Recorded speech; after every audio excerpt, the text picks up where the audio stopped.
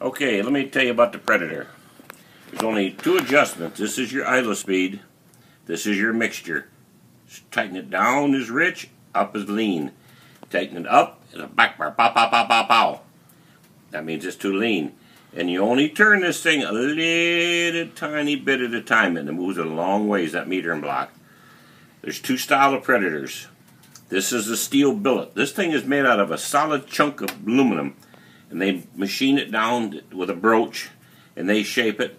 And this in here, we like this kind better, although some guys like the cast one. The only thing difference is made by two different companies, the castings were.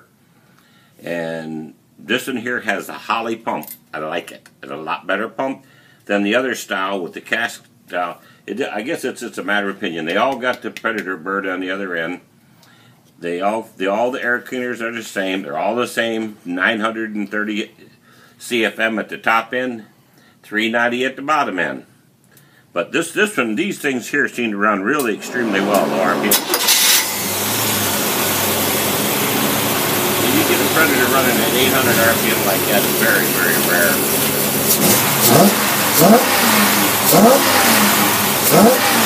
Ain't nothing horsepower right there, boys. If I was if I bought this Predator, I would keep this I would keep this video forever.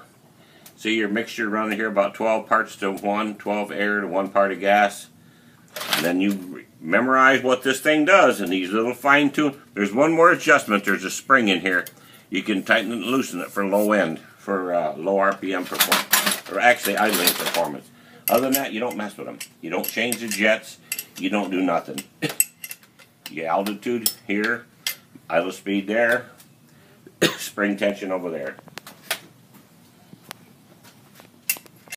I'll show you one more feature that the Predator has, no other carburetor has.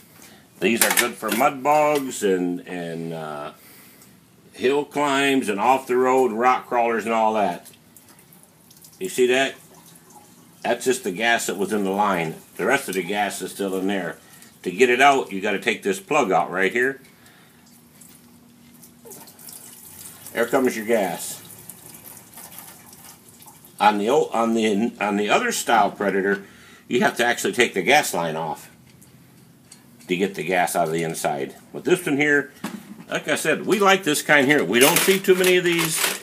They didn't they didn't uh, build a lot of these because the people didn't like the looks of them. I like them. It, people like those other thin aluminum looking things. But she's got the predator bird and all that stuff on there, you know. I, I like the, I like these.